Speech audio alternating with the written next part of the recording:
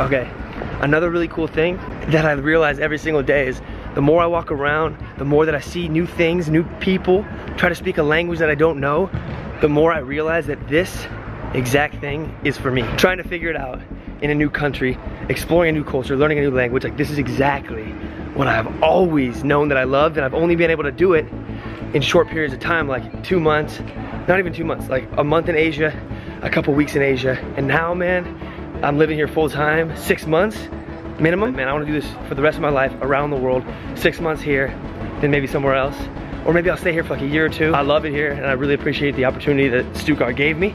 So I'm gonna take hold of that, use it to its fullest extent, football wise, video wise, you know, seeing the world wise, and then I'm gonna try to do it somewhere else and just keep going. Imagine if I could do this for the rest of my life. Who knows? I'm not the guy who knows. And like I said on my Snapchat the other day, some people didn't understand. I, I, I Snapchatted this. I said, you're gonna die, or we're all gonna die soon. And then the next snap was like, anything that you've been waiting to do, do it now. And my whole point in saying that was we live very short time. 80 years, 90 years, 100 years, like that's nothing, bro. That's nothing. People have done that for thousands of years. And those people have come and they have gone. And now they're buried somewhere in the ground. And that's why I have a hope in something greater than this world. I'll tell you that right now. If you wanna know more about that, DM me, boy. It also causes me to have a passion and exuberance and joy for life. It makes me like realize that I gotta get going, man. If I wanna get stuff done, if I wanna do things that I've always dreamed of, I gotta do it now. I can't wait. Oh yeah, yeah, when, when the time's right, let me do it. The time will never be right, I'll tell you that right now. At 24 years old, I know that, but my dad would always tell me that, and he's older than I am. But you gotta do it right now. If you have something you wanna do, if you have somebody that you have to tell, thank you, or I'm sorry, or I love you, or you wanna go do something that you've always wanted to do, do it now. And don't be embarrassed. Don't worry if people are walking behind you, being like, why are you holding a camera? Say what you gotta say, do what you gotta do. I appreciate you guys. I'm gonna keep exploring, I'll show you everything. See you later. Boom, I'm back at my favorite spot. The U-Bahn entrance right here, look at this. Or the, the, the exit of the tunnel. The end of the tunnel, man, this is my favorite spot. End of the tunnel at the U-Bahn, I'm waiting for my U5 back to Leinfelden. And this is where I can think, you know, a little bit away from the crowds as we're back there. Feeling the air out of the, the tunnel. That's what I live for. But I wanted to say this.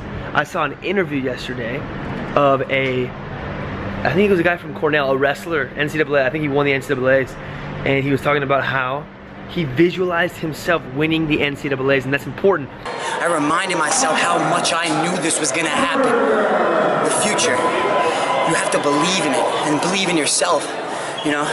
So when I'm out there, I visualize this moment. What would it feel like? And it was all so real you know, visualization. I let go of the balloon, let go of everything that's holding you down in this life. And that's all I did here today. I visualized it. If you want anything, you guys ask me, how do you be a football player? How do you do this? How do you do that? You have to first believe in your heart. You have to really believe that you're gonna get there.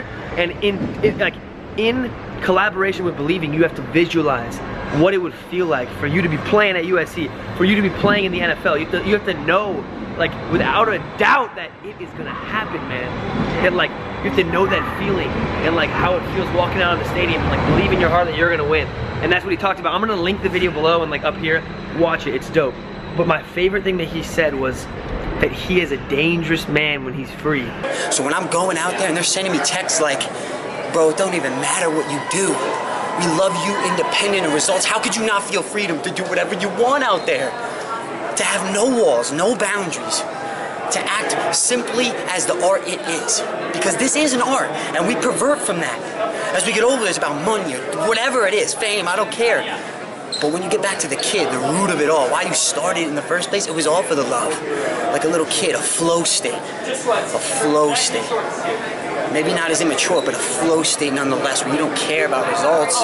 And the people who you love, who truly love you, they don't care about those results either. And I'm a dangerous man when it comes to freedom. I'm a dangerous man when I have a freedom to express my art because I'm crazy like that. And that is true. When you are free from fear, you know, from other people's opinions, free from your own self-doubt, and you can walk around saying, look, I know who I am, I know who I want to be, I know where I'm going, and I know that it's to work, man, you're a free man. And, and, and it's not even about like becoming a professional or becoming blah, blah, blah. It's about being free in your own mind and being free and really believing, man, like this is what's gonna happen, man. This is who I am. I believe in who I am. I can see in the mirror that this guy's going for what is right every single day. And if you can do that, you're a free man. You can live peacefully. And that's what everybody wants, man.